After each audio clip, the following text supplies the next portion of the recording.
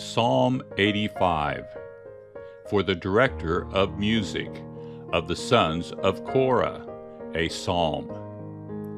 You, Lord, showed favor to your land. You restored the fortunes of Jacob. You forgave the iniquity of your people and covered all their sins. You set aside all your wrath and turned from your fierce anger. Restore us again, God our Savior, and put away your displeasure toward us. Will you be angry with us forever? Will you prolong your anger through all generations? Will you not revive us again, that your people may rejoice in you?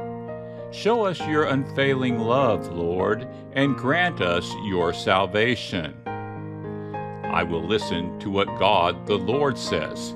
He promises peace to his people, his faithful servants, but let them not turn to folly.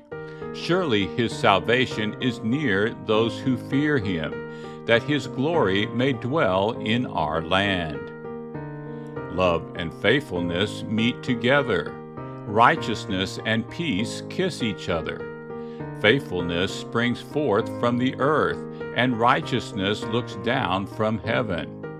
The Lord will indeed give what is good, and our land will yield its harvest. Righteousness goes before him and prepares the way for his steps.